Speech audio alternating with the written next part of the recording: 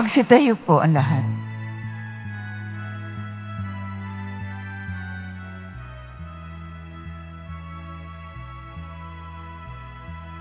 Papuri sa kaitaasan, siya'y papurihan, Diyos ng lahat o papuri sa kaitaasan, siya'y papurihan, ngayon at magpakailanman.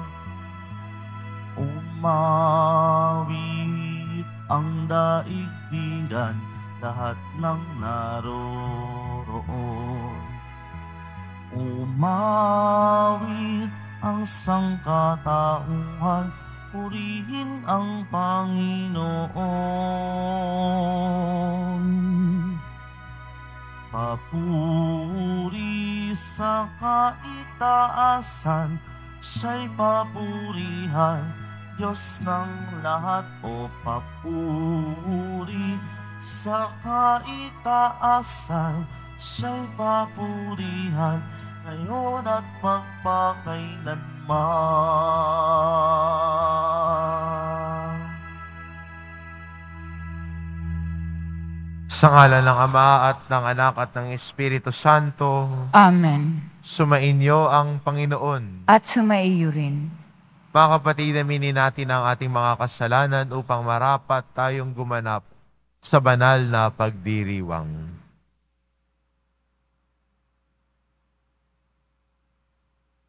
Inaamin ko Sa makapangyarihang Diyos at sa inyo mga kapatid, na lubha ako nagkasala sa isip, sa salita, sa gawa at sa aking pagkukulang. Kaya isinasamo ko sa mahal na Birheng Maria, sa lahat ng mga anghel at mga banal, at sa inyo mga kapatid, na ako'y panalangin sa Panginoong ating Diyos. Kaawaan tayo ng makapangyarihan Diyos, patawarin tayo sa ating mga kasalanan, at patnubayan tayo sa buhay na walang hanggan. Amen. Panginoon, kaawaan mo kami. Panginoon, kaawaan mo kami. Kristo, kaawaan mo kami. Kristo, kaawaan mo kami. Panginoon, kaawaan mo kami. Panginoon, kaawaan mo kami. Manalangin tayo.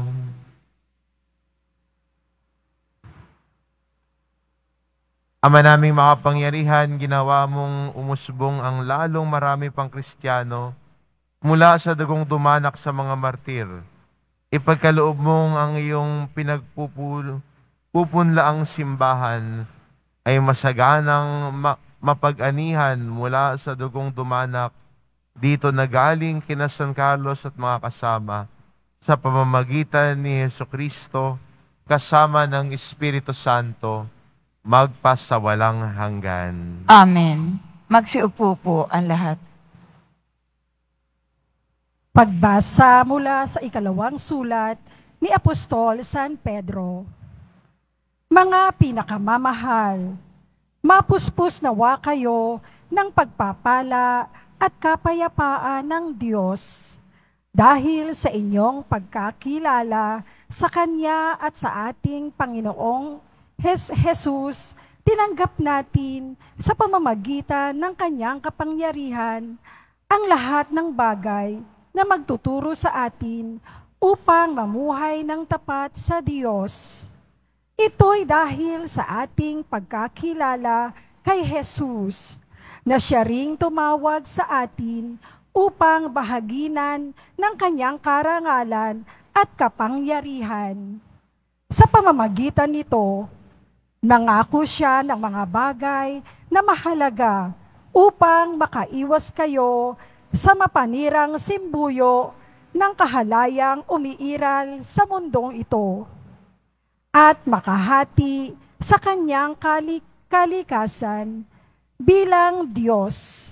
Dahil dito, sikapin ninyong idagdag sa inyong pananampalataya ang kabutihang asal. Sa kabutihang asal, ang kaalaman sa kaalaman. Ang pagsupil sa sarili, sa pagsupil sa sarili. Ang katatagan sa katatagan. ang kabanalan sa kabanalan, ang pagmamalasakit sa kapatid, at sa pagmamalasakit, ang pag-ibig. Salamat sa Diyos. Ang salita ng Diyos. Salamat sa Diyos. Diyos kong tapat at totoo, ikaw lang ang pag-asa ko. Diyos ko, tapat at totoo, ikaw lang ang pag-asa ko. Siyang naghahangad ng pagkupkop ng kataas-taasan at nananatili sa kalinga ninyong makapangyarihan, makapagsabi sa kanyang Panginoon, Muog ka't tahanan, ikaw ang aking Diyos, ang Diyos na tangi kong pinagtiriwalaan. Diyos ko, tapat at totoo, ikaw lang ang pag-asa ko. Ang sabi ng Diyos, aking ililigtas ang tapat sa akin at iingatan ko ang sino mang taong ako'y kikilanlin. Pag sila'y tumawag, laging handa ako na sila'y pakinggan. Aking sasamahan at kung may hilahil ay sasaklolohan. Diyos ko, tapat at totoo, ikaw lang ang pag-asa ko. Aking ililigtas at ang bawat isa ay pararangalan. Sila'y bibigyan ko't gagantip, gagantimpilaan ng mahabang buhay at makatitiyak na ang tatanguhin nila'y kaligtasan. Diyos ko, tapat at totoo, ikaw lang ang pag-asa ko. Magsitayo po ang lahat.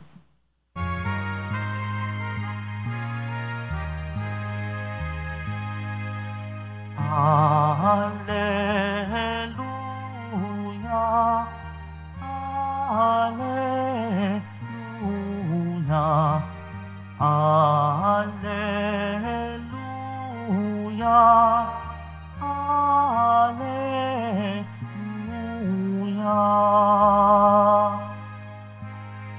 Si Yesu Kristo ay tapat, saksi at buhay ng lahat.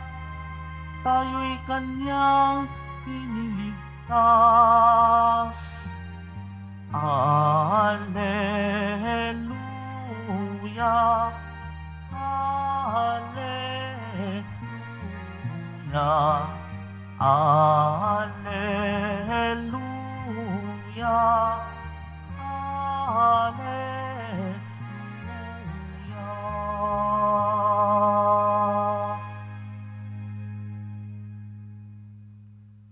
Sumainyo ang Panginoon, At sumaiyo rin.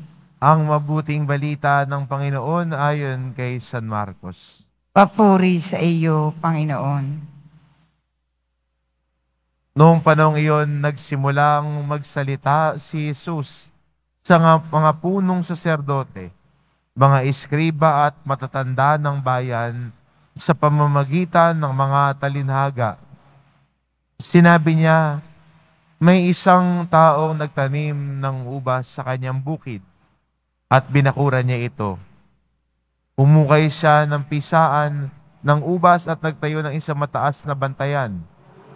Pagkatapos, iniwan niya ang ubasan sa mga kasama at siya'y nagtungo sa ibang lupain.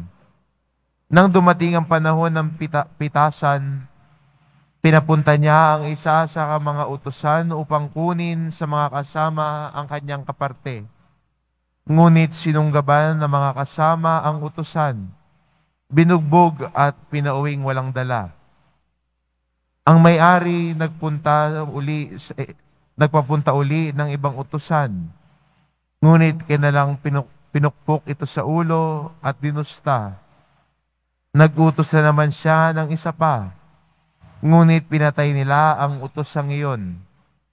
Gayon din ang ginawa nila sa marami pang iba. May binugbog at may pinatay. Isa na lang ang natitira na maaaring papuntahin sa kanila ang kanyang minamahal na anak. Ito ang kahuli-hulihang pinapunta niya. Igagalang nila ang aking anak, wika niya sa sarili. Ngunit ang mga kasamay nag-usap-usap. Ito ang tagapagmana. Hali kayo, patayin natin at nang mapa sa atin ang kanyang mamanahin. Kanilang sinunggaban siya, pinatay at itinapon sa labas ng ubasan. Ano ngayon ang gagawin ng may-ari ng ubasan? Paroroon siya at papatayin ang mga kasamahang iyon, at ang ubasay ibibigay sa iba. Hindi pa ba ninyo nababasa ang nasasaad sa kasulatan?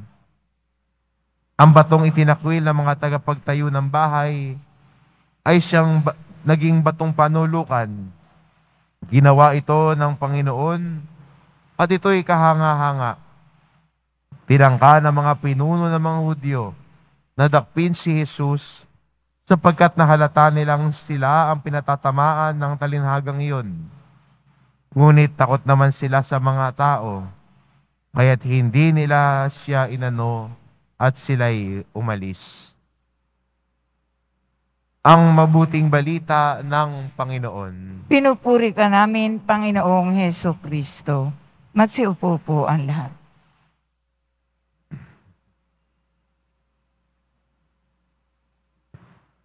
Maganda sa ating mabu- maganda maganda nating pagnilayan sa araw na ito. Tulad ng mga katiwala na pinagkaloob, pinagkatiwalaan ng ubasan, malinaw siguro sa kanila na hindi kanila yon. Ibinigay lang sa kanila, pinagkatiwala sa kanila para alagaan. Ngunit ang ginawa nila, imbis na alagaan, magbigay ng parte sa may-ari, anong ginawa nila? Inangkin. Inangkin ang hindi kanila. At minsan, kapag karamutan ang tumitimo sa puso ng isang tao, pagiging makasarili, minsan ay inaangkin ang hindi naman kanya. Imbis na alagaan ang pinagkalooban sa pinagkaloob, iniisip niya, hindi, akin to eh. Ba't ako magbibigay ng kaparte, ng parte? Akin to eh. Minsan naminin natin sa puso ng isang Kristiyano, may mga pagkakataon na ang karamutan ay pumapasok sa puso ng isang Kristiyano.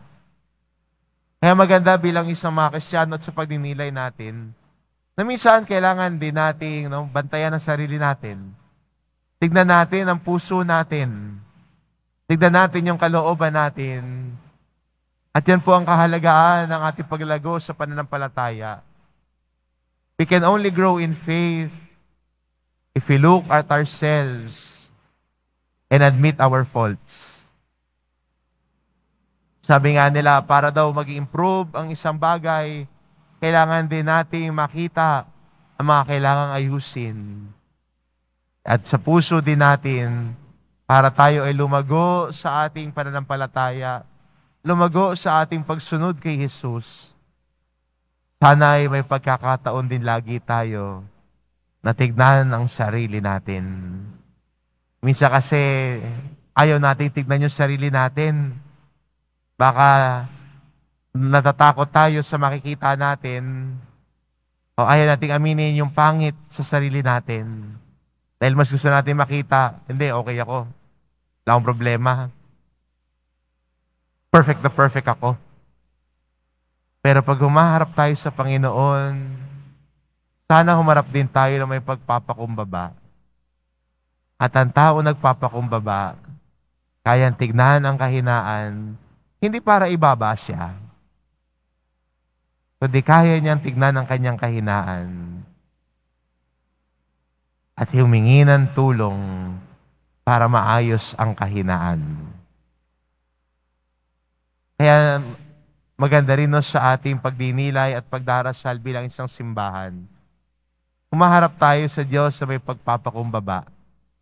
Wala tayong may, may pagmamalaki sa harapan ng Diyos. Dahil alam din natin sa sarili natin, nakatiwala din tayo. Pinagkatiwalaan ng Diyos ng kanyang biyaya. Pinagkatiwalaan ng Diyos ng kanyang kabutihan. At ngayon, habang pinagka, dahil pinagkatiwalaan tayo, kinikilala natin na lahat ay mula sa Diyos. Ang lahat na meron tayo, ang buhay ng biyaya natin, pinagkaloob ng Diyos sa atin. Kaya ang puso ng isang Kristiyano hindi na pagmamataas, kundi lumalago sa kabutihan dahil malinaw sa isang Kristiyano na siya ay tumatanggap ng biyaya. Ang lahat ay mula sa Diyos, kinikilala na mula sa Diyos. Kaya no, bilang Kristiyano, kung kinikilala natin na, na ang lahat ay para sa Diyos, ang lahat ay mula sa Diyos, tayo ay sumusunod lagi sa Kanya. Nagmamahal at pinipili siya. Kaya sa ang ating pinagdiriwang na santo ngayon, si San Carlos Luanga at mga kasamahang martir, dahil pinili nila ang Diyos, alam nila ang Diyos na nabigay sa kanila ng lahat, handa silang manindigan at tumayo para sa kanilang pananampalataya sa Diyos, kahit na sa mukha ng pag-uusig. Kahit sa harap ng kamatayan, sa kabila ng mga ingay sa paligid nila, na sinasabi sa kanilang itakwil ang kanilang pananampalataya, ang ginawa ng mga santo natin ngayon, nanindigan hanggang kamatayan. Maganda rin sa atin bilang Kristiyano, kung kinikilala natin na pinagkatiwalaan tayo ng Diyos, kung alam din natin na ang biyaya ang mga biyaya natin ay nagmumula talaga sa Diyos. Sana piliin din natin ang Diyos na nagkaloob ng lahat sa atin. Sana piliin natin ang Diyos sa pagkakataon no, na ang mundo ay gusto ng itakwil at isang tabi ang Diyos. It is about recognizing the goodness of the Lord in your life. And like the martyrs, always choosing God, always choosing our faith. Kaya maganda no sa pagninilay natin ngayon, hilingin natin ang grasya sa Diyos na bigyan tayo ng pagpapakumbaba na kilalanin na ang lahat ay mula sa Kanya. Ang buhay natin ay buhay ng biyaya, nagmumula sa Diyos, at ang taong tumi naninindigan sa Kanyang pananampalataya dahil pinipili din niya ang Diyos tulad ng mga martir, ay nagliliwanag ang kanilang buhay. Nagliliwanag sa harapan ng Diyos, nagliliwanag sa kapwa niya, dahil lagi niyang pinipili ang Diyos. Amen. Magsitayo po ang lahat.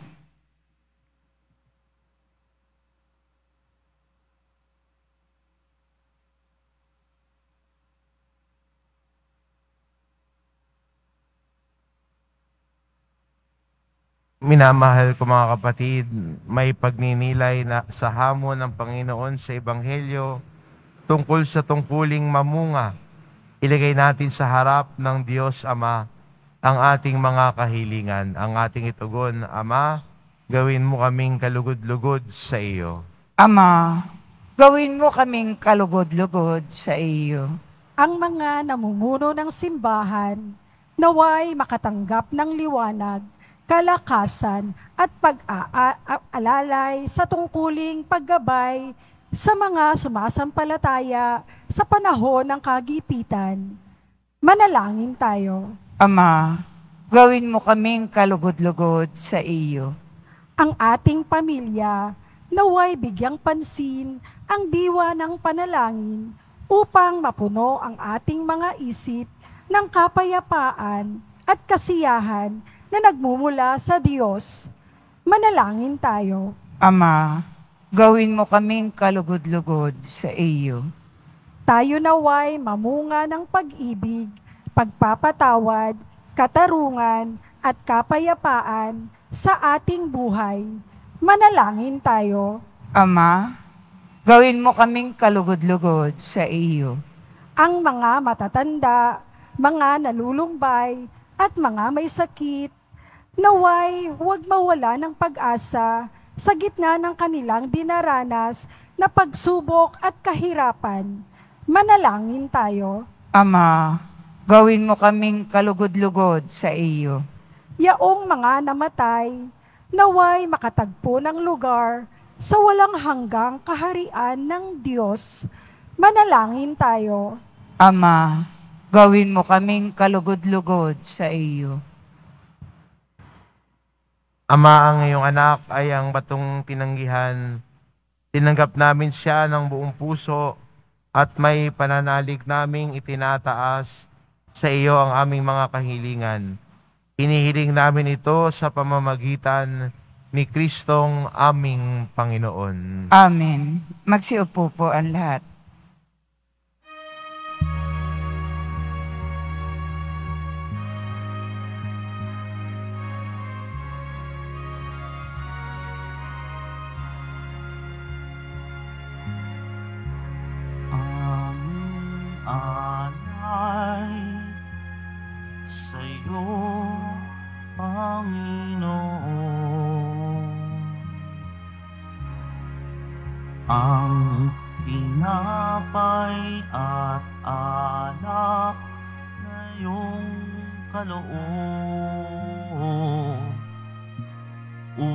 Upang gunitain ang iyong buhay na inialay nang tayo'y magdiwang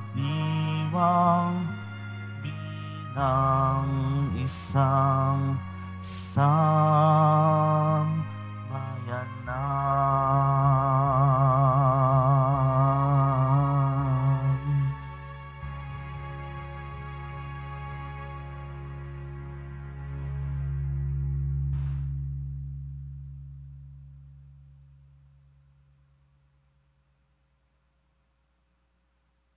Magsitayo po ang lahat. Manalangin kayo mga kapatid upang ang paghahain natin ay kalugdan ng Diyos amang makapangyarihan. Tanggapin nawa ng Panginoon itong paghahain sa iyong mga kamay, sa kapurihan niya at karangalan, sa ating kapakinabangan, at sa buong sambayanan niyang banal. Ama naming lumika, kaming naghahain ng mga alay, ay nagsusumamo na maganap nawa namin ang paglilingkod na ito.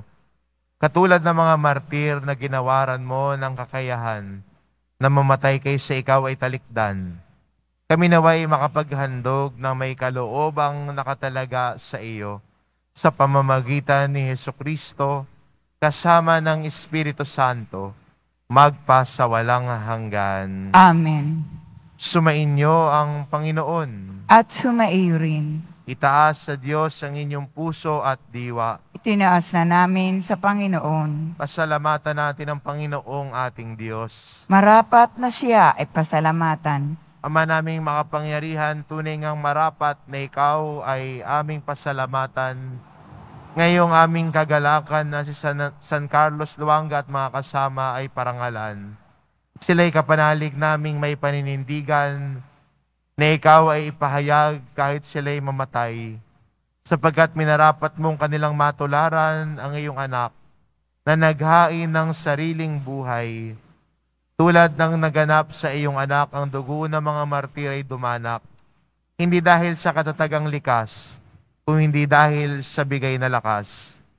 Kaya kaisa ng mga anghel na nagsisiawit ng papuri sa iyo, nang walang humpay sa kalangitan, kami nagbubunyi sa iyong kadakilaan. Santo, Santo, Santo, Panginoong Diyos ng mga hukbo, napupuno ang langit at lupa ng kadakilaan mo. Usana sa kaitaasan, pinagpala ang naparirito sa ngalan ng Panginoon, Usana sa kaitaasan. Magsiluhod po ang lahat.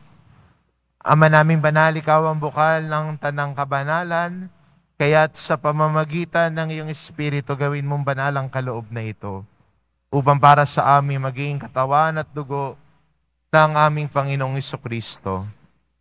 Bago niya pinagtiis ang kusang loob na maging handog, hinawakan niya ang tinapay. Pinasalamatan kanya. Pinagati-hati niya iyon, iniabot sa kanyang mga alagad at sinabi, Tanggapin ninyong lahat ito at kanin. Ito ang aking katawan na ihahandog para sa inyo.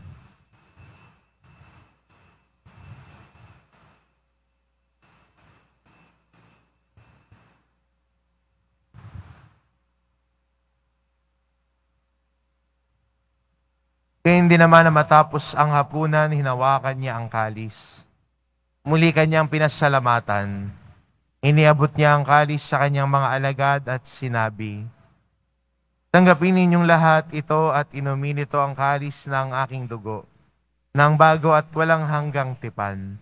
Ang aking dugo na ibubuhos para sa inyo at para sa lahat, sa ikapagpapatawad ng mga kasalanan. Gawin ninyo ito sa pag-alala sa akin.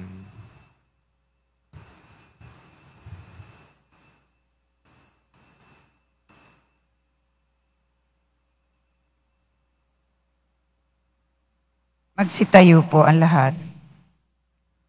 Ipagbunyi natin ang misteryo ng pananampalataya. Si Kristo'y namatay, si Kristo'y nabuhay, si Kristo'y babalik sa wakas ng panahon.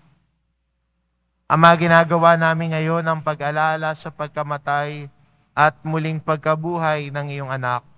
Kaya tinaalay namin sa iyo ang tinapay na nagbibigay buhay at ang kalis na nagkakaloob ng kaligtasan. Kami nagpapasalamat dahil kami iyong minarapat na tumayo sa harap mo para maglingkod sa iyo. Isinasamo namin kaming magsasalo-salo sa katawan at dugo ni Kristo ay mabuklod sa pagkakaisa sa pamamagitan ng Espiritu Santo. Amalingapin mo ang iyong simbahang laganap sa buong daigdig. Puspusin mo kami sa pag-ibig.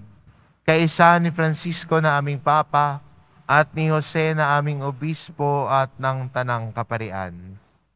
Alalahanin mo rin ang mga kapatid naming nahimlay na may pag-asang sila'y muling mabubuhay gayon din ang lahat ng mga pumanaw. Kaawaan mo sila at patuloyin sa iyong kaliwanagan. Kaawaan mo at pagintapatin kaming lahat na makasalo sa iyong buhay na walang wakas. Kaisa na mahal na Birheng Maria na ina ng Diyos, ng kabiyak ng puso niyang si San Jose, kaisa na mga apostol at ng lahat ng mga banal na namuhay dito sa daigdig ng kalugod-lugod sa iyo, maipagdiwang nawa namin ang pagpupuri sa ikararangal mo sa pamamagitan ng iyong anak na aming Panginoong Heso Kristo.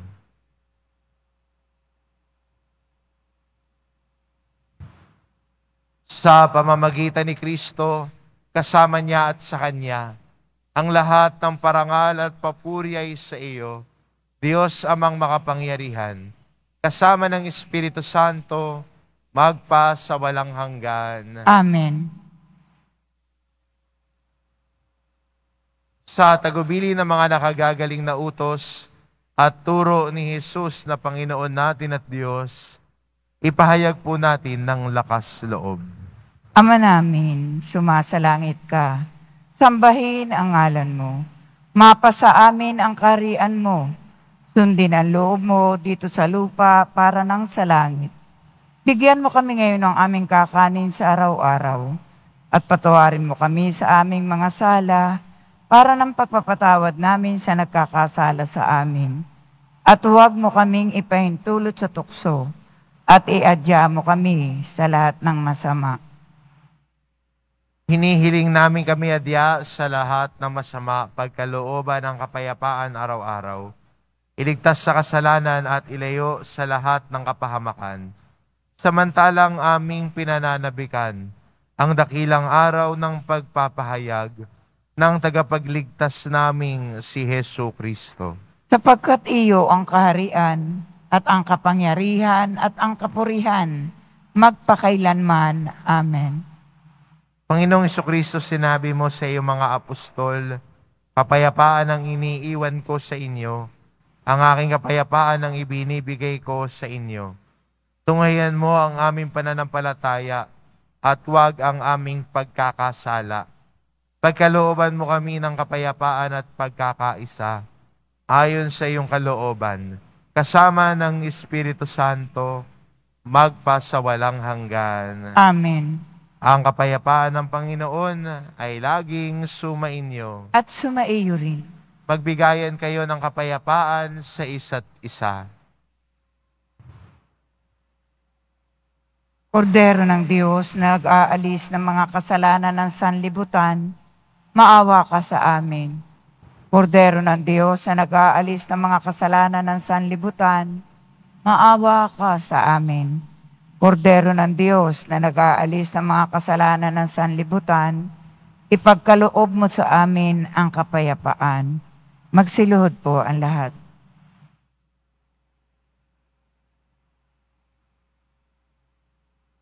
Ito ang kordero ng Diyos, ito nag-aalis ng kasalanan ng sanlibutan. Mapalad ang mga inaanyayahan sa kanyang piging. Panginoon, hindi ako karapat dapat magpatuloy sa iyo. Ngunit sa isang salita mo lamang, ay gagaling na ako.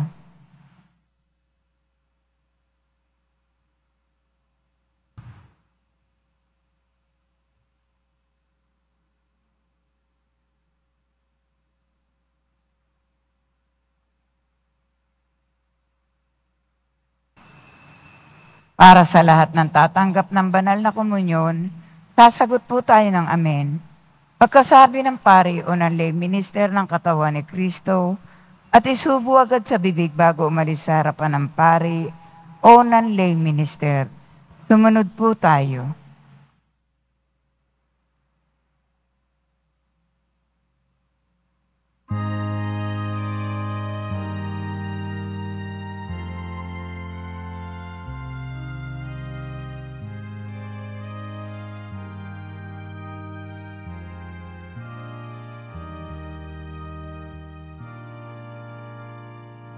Sa piging na ito, ating pagsaluhan ang katawa at dugo ni Jesu Kristo. Siya'y ating lakas at tanggulan, Panginoon Diyos nating lahat. Tikman ninyo at masdan ang kabutihan ng Panginoon. Mapalad ang tao na ang Diyos ang pag-asa. Sa piging na ito, ating pagsaluhan ang katawat dugo ni Jesu Kristo. Siya'y ating lakas at tanggulan, Panginoon Diyos, nating lahat.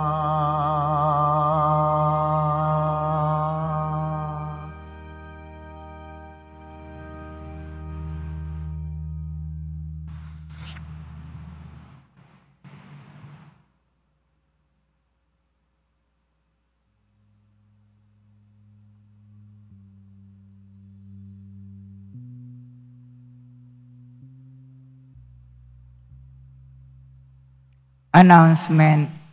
Sa darating na June 22, 2024, Sabado, magkakaroon po tayo ng binyagang bayan para sa mga batang 0 to 7 years old. Handog ng kapistahan ng, ka- ng kapang, kapanganakan ni San Juan Bautista.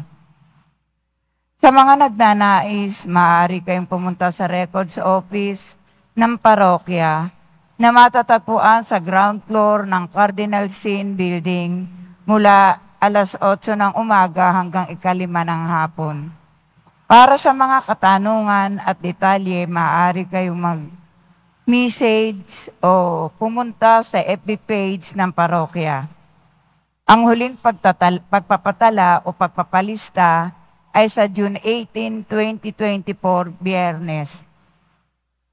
Mabibili pa rin po ang ating opisyal na imahe ni Jesus Nazareno.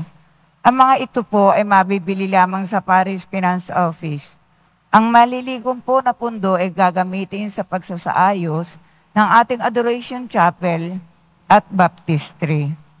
Ang lahat po ay naanyayahan lalo na mga may sakit o ang may karamdaman sa ating healing mass and service sa darating na June 6, 2024, Huwebes, sa ganap na ika-anim ng gabi. Makaisa po tayo. Pagkatapos ng misa, wiwisikan po ang lahat ng banal na tubig. Pinakikiusapan ang lahat na manatili lamang muna sa inyong mga lugar Tanging sa Quezon Boulevard o sa Plaza San Juan lamang ang labasan ng lahat. Sumunod po tayo. Maraming salamat po sa inyong pagdalaw at pagsisimba sa Basilica Minor at Pambansang Dambana ni Jesus Nazareno. Magsitayo po ang lahat. Manalangin tayo. Ama naming mapagmahal, ngayong napagsaluhan na namin ang banal na pakikinabang sa paggunita ng mga martir na hindi na igupo ng kamatayan, kami nagsusumamo na ang magdulot sa kanila ng paninindigang magtiis ay magbigay dinawa sa amin ng pananampalataya at pag-ibig sa gitna ng mga dapat pagtiisan dito sa daigdig. Sa pamamagitan ni Heso Kristo kasama ng Espiritu Santo magpasawalang hanggan. Amen. Sumainyo ang Panginoon. At sumaiyo rin. Mahal na pong Isus Nazareno, inihayag mo sa pamamagitan ng krus ang walang maliw na pag-ibig ng Diyos sa sangkatauhan. Pakinggan mo ang kahilingan ng iyong angka na nagsusumamo sa iyo. Makamtanawa nila ang iyong katugunan at tanggapin ang kasagutan ng may utang na loob na tinatanaw. Basbasan din po ninyo ang mga may daladala nilang imahin at dasalan sa pamamagitan ng bendisyon na ito, naway maalala nila ang mga pangako nila noon sa binyag, na ikaw ang kanilang iibigin at pagdilingkuran, bilang Panginoon magpa sa walang hanggan. Amen. At pagpalain kayo ng ating mapagmahal na Diyos, ang Ama at ang Anak at ng Espiritu Santo. Amen. Humayo kayo, taglay ang kapayapaan ng poong Jesus Nazareno. Salamat sa Diyos.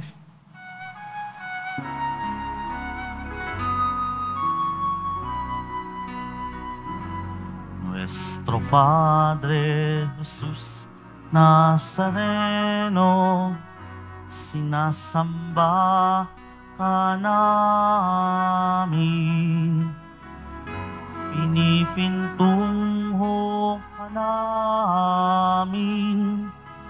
Aral mo ang aming buhay at kaligtasan. Nuestro Padre Jesus Nazareno, iligtas mo kami sa kasalanan. Ang krus mong kinamatayan ay sagisag ng aming kaligtasan. Nuestro Padre Jesus Nazareno, dinarangal ka namin. Nuestro Padre Jesus Nazareno, inulwalhati ka namin. Nuestro Padre Jesus Nazareno, dinarangal ka namin. Nuestro Padre Jesus Nazareno, iliwalhati Alamin